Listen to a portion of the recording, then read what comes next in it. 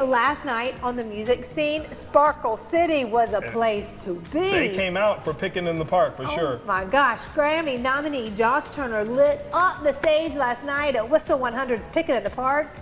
In Spartanburg, happened in Sparkle City, Bill Ellis and Beth Bradley takes us backstage to catch up with the country stars and three up-and-comers from Nashville. Take a look.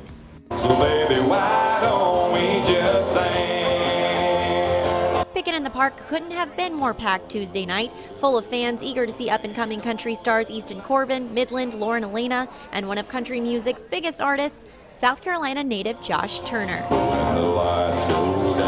Good to be here in the Palmetto State. I was in uh, California two days ago, and there wasn't a lick of humidity, so, so I'm glad, to be, back to glad to be back in the Palmetto State. Easton Corbin has a couple of number one hits, like A Little More Country Than That.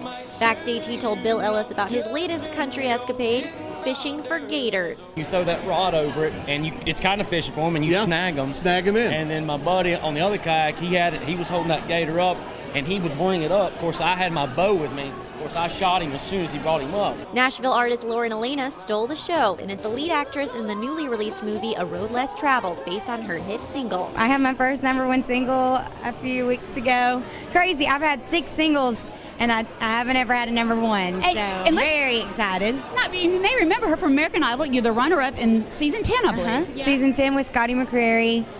It's been a crazy ride ever since then. With a touch of Texas grit, Midland has also been climbing the charts in country music with Drinkin' Problem. It is the quintessential country song. Well, thank you very much. They say just write what you know, and that's um, that's what we know. We know a lot of the. Uh, well, I mean, look at us right now at a bar. Don't go riding on that long black train.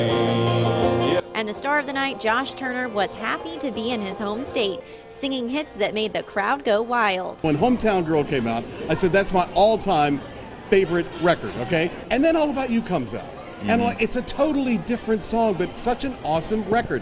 Tell me about it.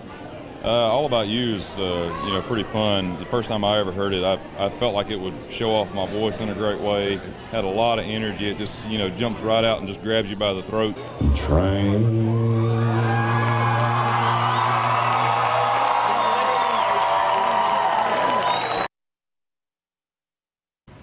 He's known for that deep voice. I always think it would be so funny from the interviews. It was real high pitched, like you Yeah, know, he's his, like, it's his squeaky voice. He's, so- funny.